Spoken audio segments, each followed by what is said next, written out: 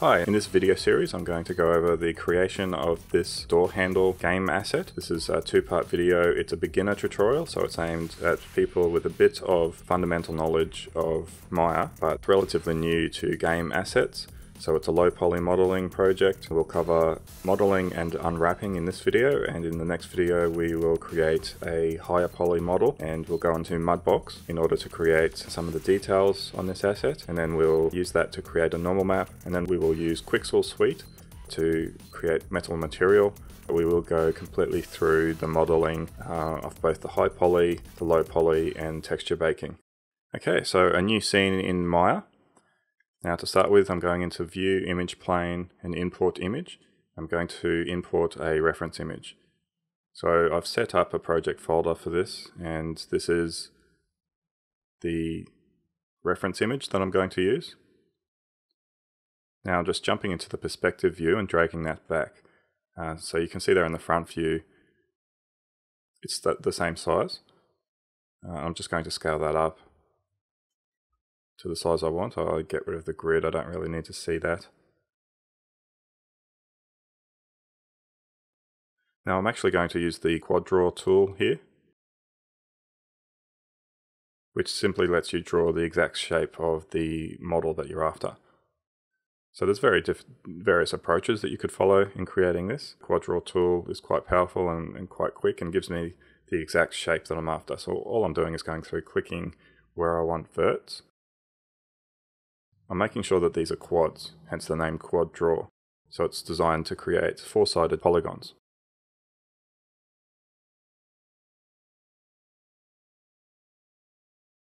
So once you've drawn the four verts, if you hold down shift and click in the middle, that will complete the polygon for you. I'm just going through, if I make a mistake, I'm just control Zing that. I'm just going through, it gives me a little preview when I hold down shift of where the new face will be. And uh, provided you're happy with where that face will be, just uh, click to create it.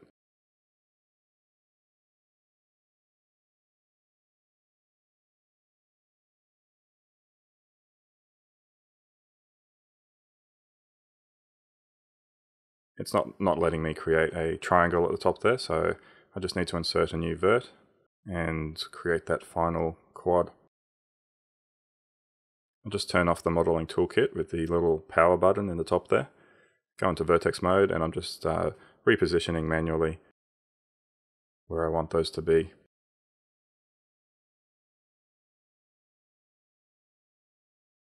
You could also do that while you're still in the quad draw tool, simply by hovering your cursor over the uh, vertice and middle click and dragging.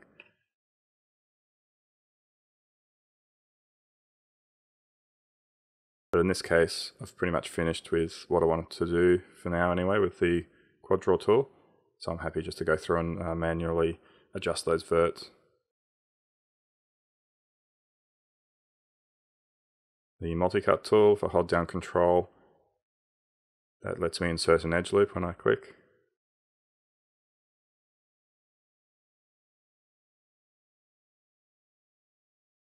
Just remember to turn off the modeling toolkit uh, when you don't need it.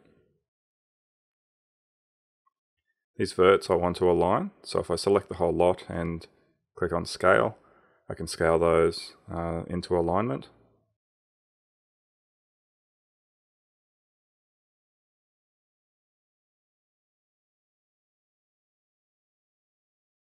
If you're wondering what this menu is, this circular menu that comes up, that's just the uh, my Wacom graphics tablet settings. Uh, they're just keyboard shortcuts, just replacing the keyboard shortcuts uh, from the keyboard onto the tablet. Duplicated the model. Uh, I've mirrored that by scaling it in the ne negative 1 in the scale X. Now combine those two models and select all of your verts in the center. Go to Merge Vertices Options and click Apply. Now it's always important here when you do this to take a look to start with at the vert count. So I started with 22 verts and selected and when I clicked apply that changed to 11 vertices. I'm just uh, deleting history. That's very important to maintain your uh, deleting history as you go. You don't need to build up a large collection of nodes on your model. Uh, bad, bad practice. It's best practice to delete history as you go. Now what I've just found is when I did the merge, it collapsed one of those verts because I had that selected. So I'm just running the merge again. And that maintains that shape at the top of the object. So that's more or less the basic shape completed.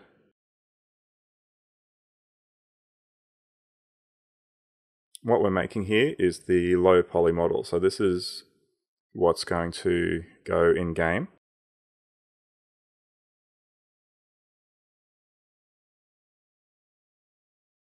Okay, to start with, I'm selecting the center face, the center edge loop. I'm going into delete edge vertex.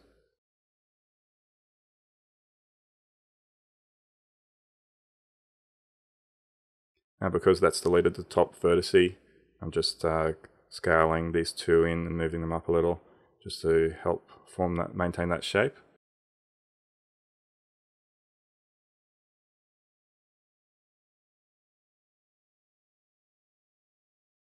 Now I'm using the target weld tool to try to reduce the poly count where appropriate, which isn't too much. It's, it's a pretty low poly model. I'm just even, evening out some of these vertices.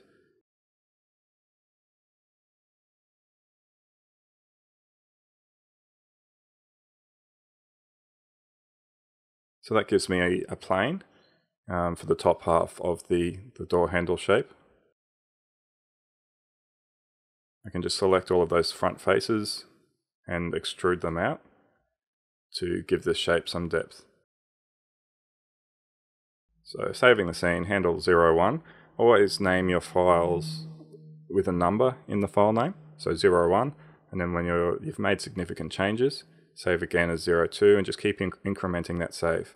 It's very important to end up with a collection of file names. Uh, if you ever have any trouble with your model, you can go back to an earlier version.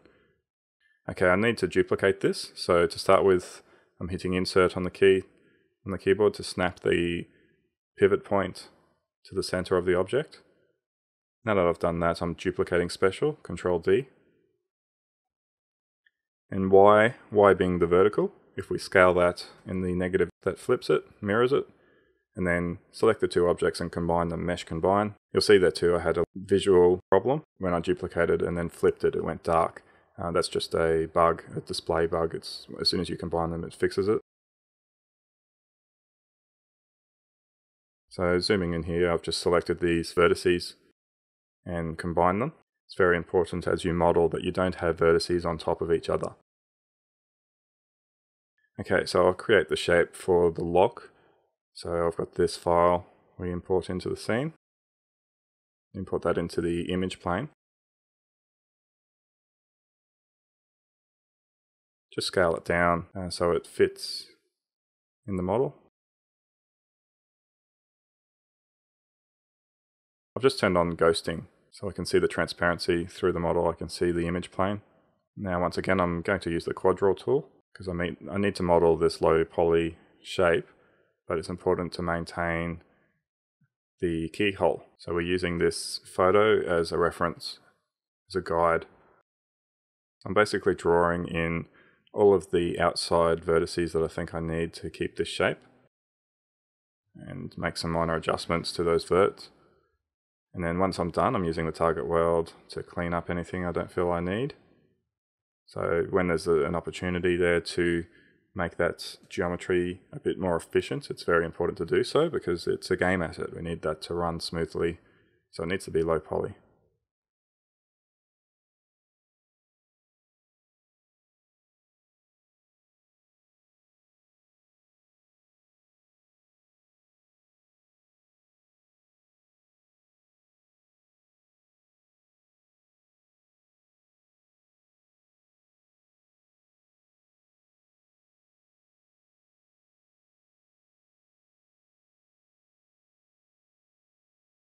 So again, I'm hitting insert to snap the pivot point to the edge of the model. So I've just duplicated that model and mirrored the other half by scaling in negative 1 in the x. Combine the two models. Now to merge these, selecting two the two faces and hitting merge, and then I'm going through and hitting the G key, which repeats the last command. So just selecting the next two, hitting G, selecting the next two, hitting G, and that rapidly goes through and merges all of those verts. So now I'm extruding out those faces to give this some depth. So this keyhole is a little bit higher poly than the base. Just saving this as 02, so I've got an increment. It gives me a file history I can always go back to if I need it. So selecting the multi-cut tool, holding shift outside of the model and then clicking and dragging straight down through the model lets me cut the model. And what I've done there is snap those to the grid. So selecting all those verts and snapping, snapping them to the grid just to ensure they're aligned perfectly with the grid.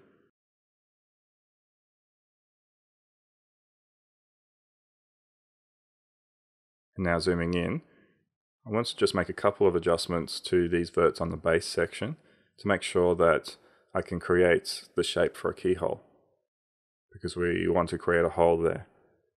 So I'm using the multi-cut tool to draw in the matching shape of that keyhole, just hitting enter. And now that creates an n-gon, so I just need to click on the outside verts and connect these to make sure they're all either quads or triangles. So now I can just select those inside faces inside the keyhole and delete them on the, uh, the base section of the mesh.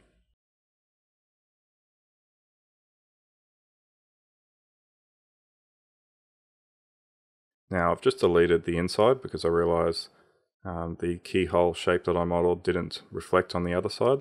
So the easiest way to fix that is simply delete it so I only have the front faces and then extrude those out again. Now what I'm doing is selecting the outside edges. So when you double click on an edge, that selects the edge loop as best it can. And now I'm just going through and holding down shift and clicking on the other edges manually just to make sure that I've got all of the outside edges selected and then moving those in a little bit.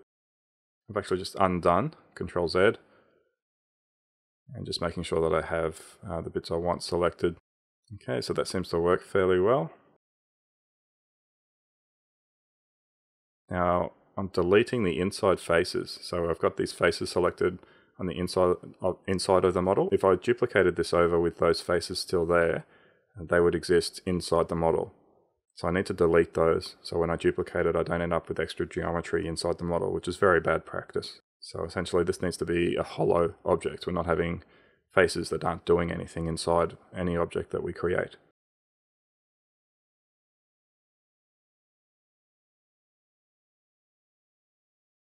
So I've duplicated that over, scale negative 1 in the X, merge the components,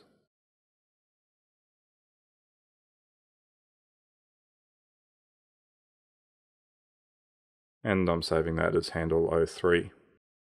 So we can see there the all the verts haven't merged.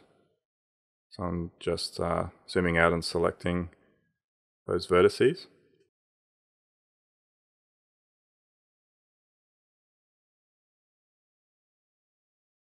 Selecting the vertices and merging the components.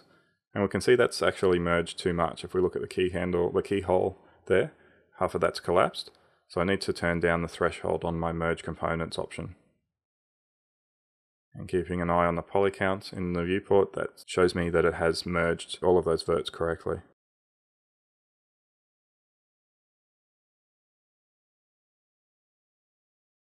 Bringing the keyhole section forwards, extruding it out a little,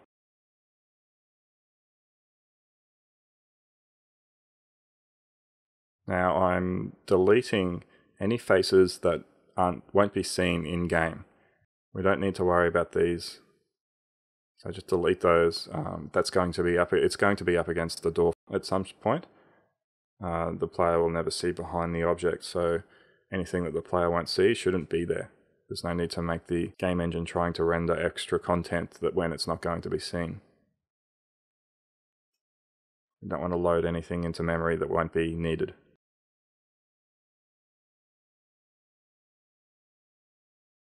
Okay, so I've just selected all of those edges and gone into normals, soften edge, and so that gets rid of our faceted faces, that makes those faces smooth, which makes the whole mod model look higher quality.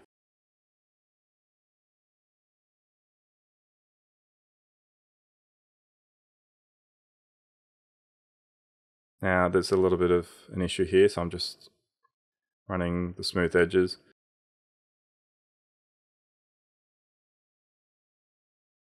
You can see there if I hit set to face, uh, they all become faceted again. And soften edge cleans that up. But there's still some funny issues there, so I'm just sort of experimenting. Soften edges. There's a little bit of pinching going on, um, but fortunately the uh, keyhole shape actually covers that. Just making some minor adjustments to the overall shape of the model and using target weld there to clean it up a little.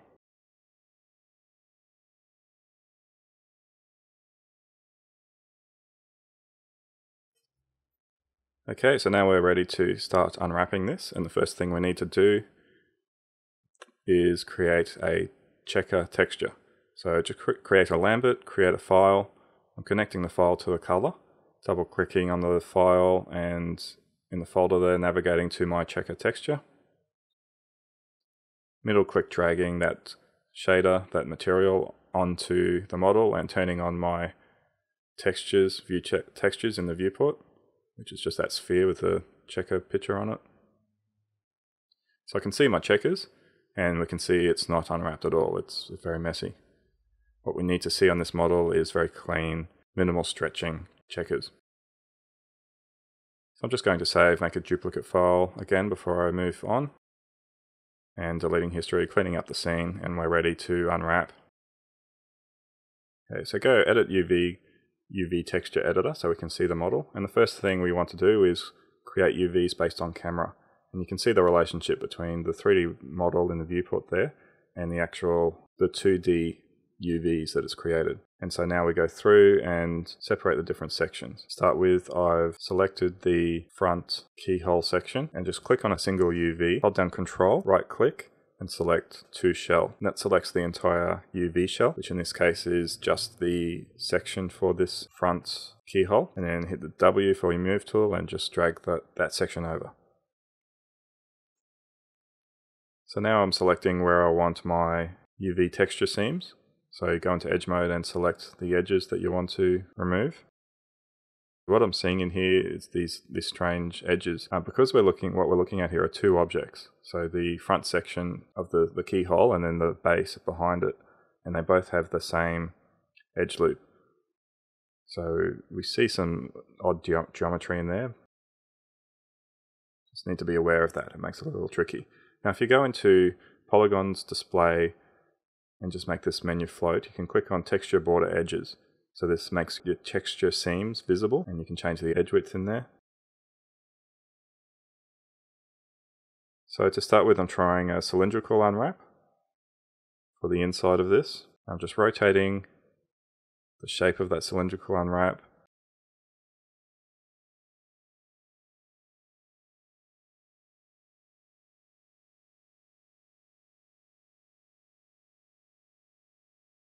which gives me a nice uh, long line in here in the UV editor.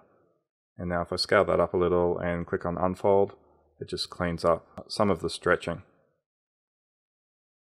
And we'll scale that down.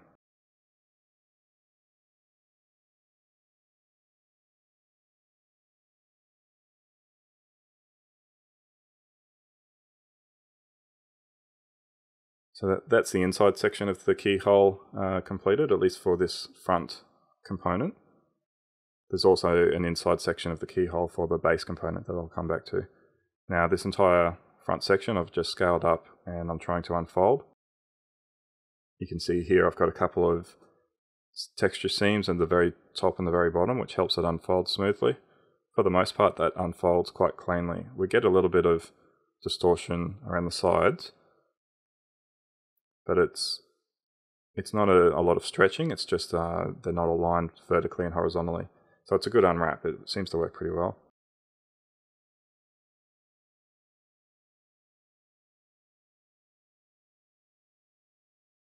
So now I'm just selecting the inside faces of the, the keyhole for the back, the base of the model, and I'm doing a cylindrical unwrap again. So if I click that little plus in the lower corner, gives me a rotation tool which I can rotate, or I can just type in uh, 90 into the rotate X in the channel box. And now if I click the little handles, the yellow handles or red handles on the side, I can scale those out. out. Back in my texture editor, scale up the shape and then unfold. And then scale it down. As you finish a shell, just scale it down and move it over to the side. So we end up with a collection of shells on the side, on the outskirts of our uh, 0, 1 texturing space, which is, a, which is our main square that we'll end up packing. Once you've got all of these shells uh, surrounded, we then pack into the 0, 1 space. You need to eyeball the resolution size. So what I'm doing now is scaling them uh, so that all of the square checkers that we're seeing in the viewport there are roughly the same size as each other. So I'm just selecting what's remaining, what still needs to be unwrapped. I'm going to select the top and the bottom edges here and cut those, which will help with the unfold. So now if I just select the whole model and unfold it,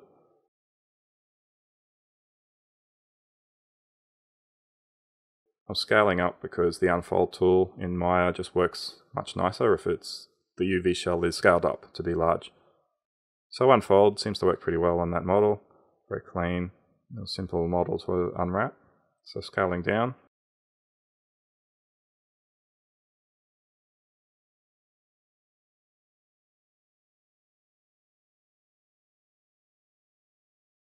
So I've scaled them to eyeball in the viewport so that all the checker textures the checkers in the viewport are about the same size as each other. And now I'm scaling up to make the largest piece, which is the, the large back section, so that it just fits inside this uh, texture space.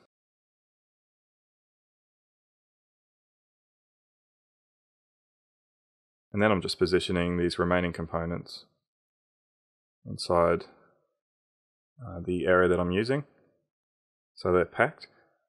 Now there's still more to this model. I haven't created the actual handle, this is just the base. So that's a starting point. Now we'll go through and create the rest of it. So I'll start by creating a cylinder.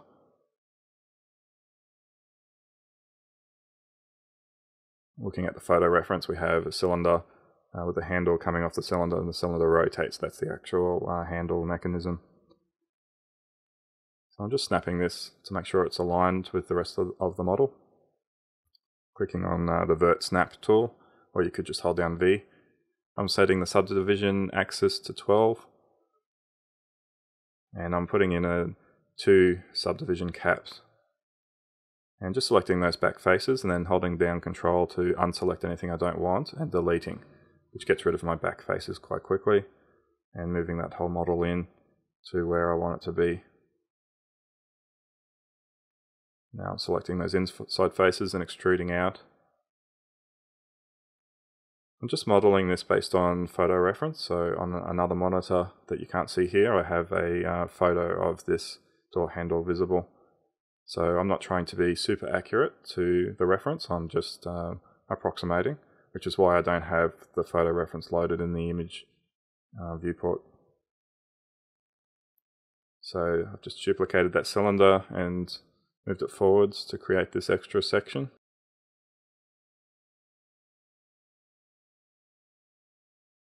Which gives me something that's perfectly aligned with the original cylinder and the same number of edges. So this door handle will connect to another cylinder at the outside. I'll also set that to be 12 faces. Keeping in mind, once again, this is our low poly in-game asset, so we don't want this to be too detailed, and we're trying to be relatively efficient with this asset. It's not a super high end workflow. We're looking at something relatively low poly. So, you know, if it was, uh, say, PlayStation 4, Xbox One era, you might be looking at um, many thousands of polygons in game. But uh, this asset's going to be a few hundred at the most. Perhaps it might exist in a larger scene with a lot more detail. You need to be appropriate with your resolution of textures and your poly counts, appropriate to what you need for the scene and what, what the game requires. Generally, though, the, the main rule there is to try and be as efficient as possible. If you can get away with doing something with less detail and it still looks good, then that's the way you should go. Uh, you're trying to be very efficient. So I've just extruded out. And I'm going to do, do something different to create a nice flowing sort of connection between these two cylinders. So I've used the EP curve tool. And just by clicking two key positions, clicking and dragging, that creates a nice curve. And I continue that curve through from those two uh, extrusion points on each cylinder. Now I can go right click once I finish that, go into curve point. I can just um, move those points to make the shape a little cleaner. Just until I get a nice S-bend that I'm happy with. And what I'm going to do is use this curve as a guide for extrusions. I've just centered the pivot, so the pivot point is right over the curve, and I'm just aligning that with the rest of the model. Now selecting those two faces and then shift selecting the curve and go into Edit Mesh, Extrude Face, and I'm telling it how many divisions I want. And note that in the curve settings, I have selected checked.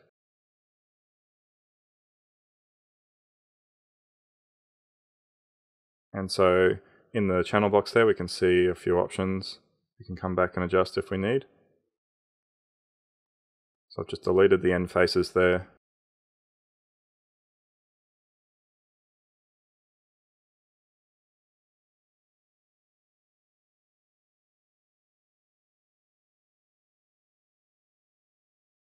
um, double, double clicking the outside edge loops to select all of those outside edge loops.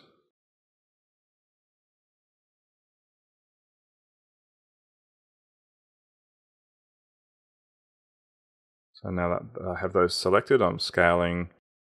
Just click the tool settings and set it to local mode. You can see I haven't got all of the faces selected, so I'll just go back and make sure they're selected.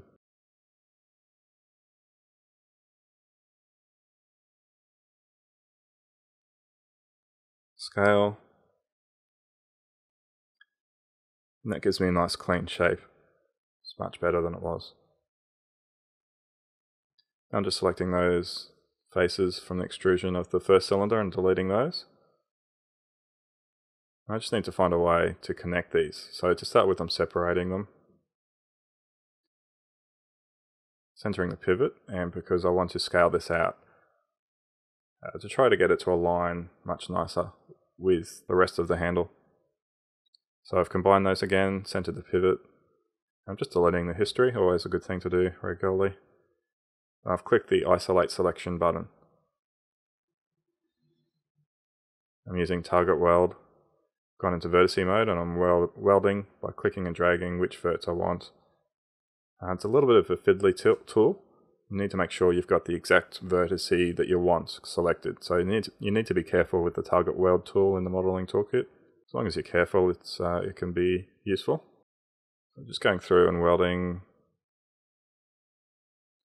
It's not selecting what you want. You need to change your viewport, zoom in, orbit if necessary. Just make sure you're getting the verts that you want selected with your target weld.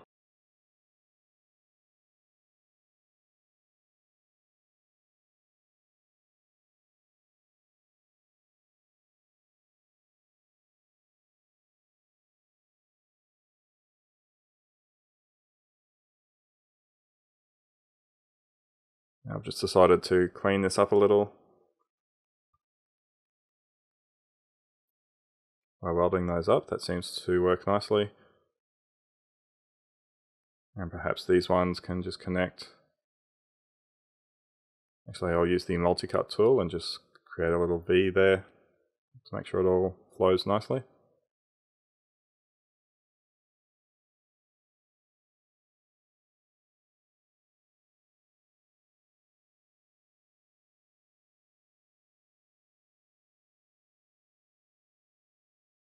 Just extruding that back section, making sure it comes through the door handle component nicely.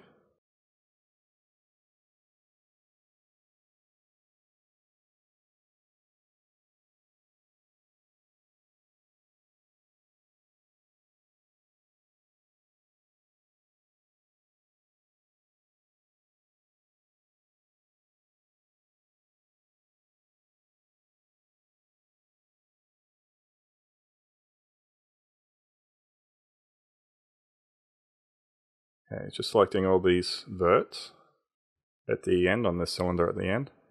And I'm just rotating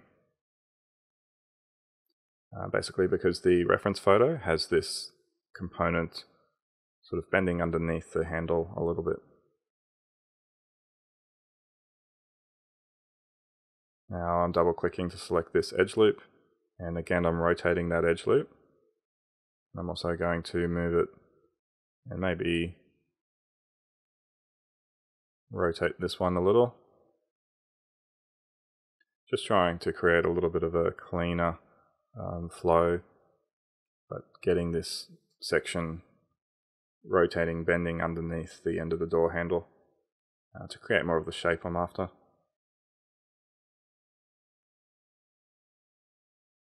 That seems to work pretty well.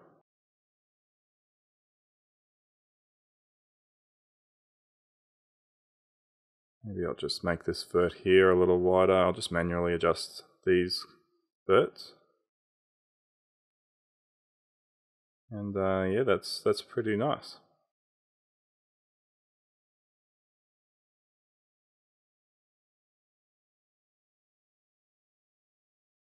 Okay, we've got all these faces at the back that the player will never see. So let's just select all of the back faces and then hold down control, select the front faces to to unselect the front so that we only have the back section and delete those. So just deleting the, back faces, any faces again that the player won't see, delete. So I'm just making some final tweaks. Trying to get a more clean silhouette of the model so the overall shape flows a bit nicer. And I think that's about done. Now we've got a little bit of faceting there. So I need to just select those edges and go normal soften edge. Now when we look at it, they are much nicer. We're not seeing the hard edges there. Got the same problem at this end. So we'll select those all of those edges.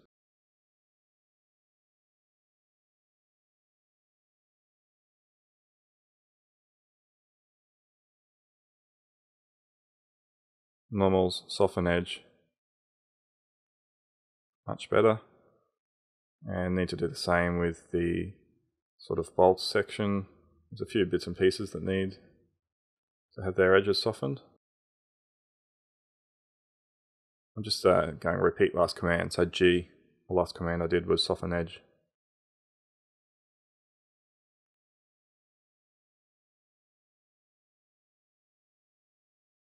Okay, so let's just save the file.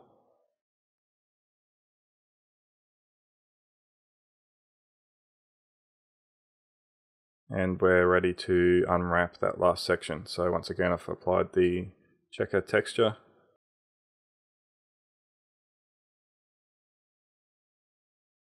Now I've just gone create UVs based on camera and move them off to the side. Starting with that back sort of bolt section. Since it's a cylinder, a cylindrical unwrap is perfect. So just rotating that in the X90 and scaling them so they're nice and square checkers. You can see in the viewport in the texture editor what that's done for us. I'm just doing an unfold. I'm just cutting those edges that aren't, I don't want connected, moving them over to the other side and clicking on the move and sew tool to sew them back. So it's all nicely aligned and running another unfold and that section is unwrapped so I'll scale that down. And just rotate it make sure everything's rotated is nice and level. Click the align selected UVs it just snaps them all uh, with the highest U value or V value depending on which button you click The front section there, it's just a plane because it's just one direction, there's no nothing else. So I've selected those faces, create UV's planar mapping and select your options and just make sure you project from the correct axis based on whether it's X, Y, Z, red, green, blue. So in that case, it's blue, which is Z. So click the Z axis and hit project. And that gives us a perfect unwrap, which is already unfolded for that, that section. So I just need to scale it down, making sure the checkers match about the same size as the other checkers and that just leaves the handle itself. So I might cut through the center here and also at the end where this cylinder is. So just selecting those edges and clicking the scissors, the cut tool. Now selected, I've done a planar mapping just for the front face of that cylinder. And I'm just unfolding So select the whole shell and unfold. Now by inserting that cut down the bottom, that unfolds much more cleanly.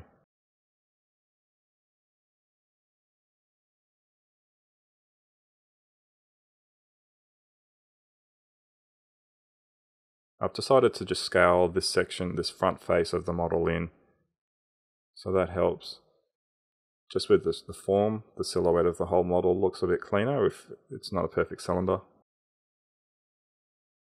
Instead of a single cut along the outside edge of that cylinder, I've put two in to help the whole lot unfold a little nicer. So it's an, an extra seam, but it's, it means less stretching.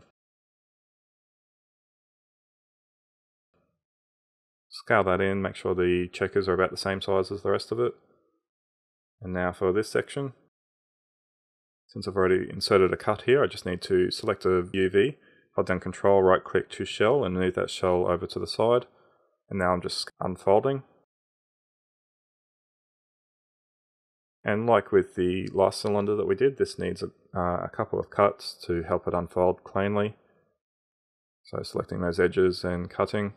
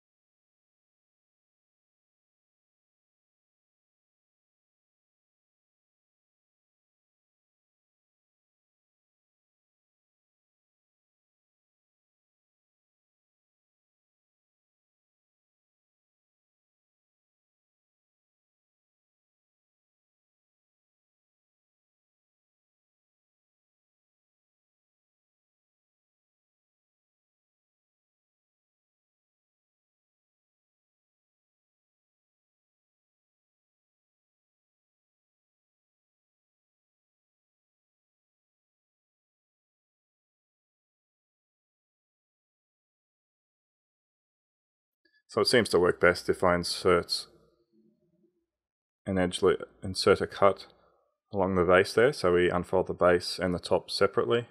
So this whole handle section will be unwrapped into three separate sections.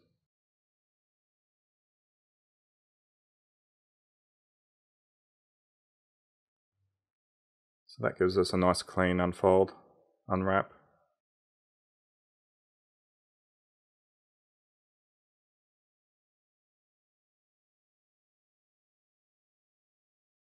And now we're just packing. And so now that I've got everything in the 0, 1 space here, we can see there's a fair bit of empty space. So we want to take advantage of that. Now because the this shell on the left, which is the main base uh, shape, is as large as it can be and fit in the 0, 1 space as one complete piece, we can't scale the whole lot up, but we can scale the other components. So I'm just trying to select sections which are worth scaling up.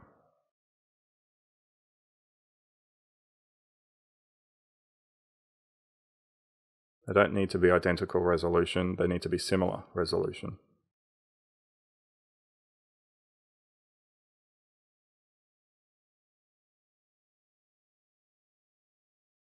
Generally with lower poly objects like this, it's actually more difficult to get a nice tight UV pack. Uh, when you're talking about higher poly assets and there's a lot of different shells, it's usually a lot easier. You have more to work with. Um, it takes more time, but it's easier to get a very tight pack. Uh, whereas here, you, you inevitably end up scaling some shells much larger than others. So I've ended up making the main locking section uh, higher resolution than the rest of it because I'm going to sculpt in a little bit of detail on that. But basically, this asset is, is largely finished. It's unwrapped.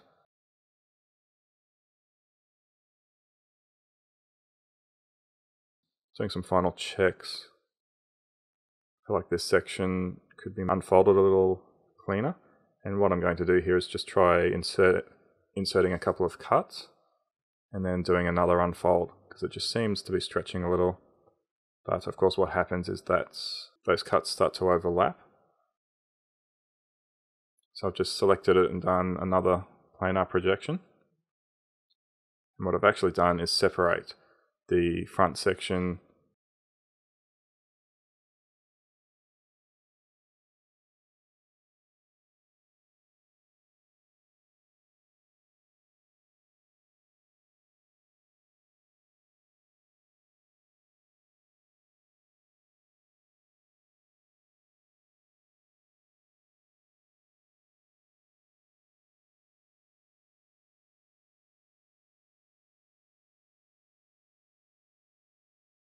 And so this section will unfold because it's such a clean, simple section that unfolds nicely, uh, nice and square.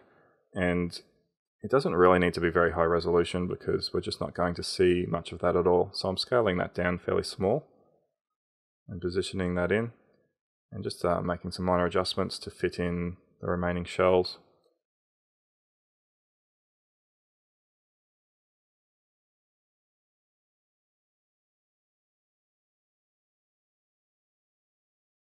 So scaling those up to use up as much as, of that empty space as I can. And uh, that looks look, is looking pretty good. So that's a low poly model ready to go. We'll just uh, clean up the scene and save it all. And so that's the low poly model finished and unwrapped.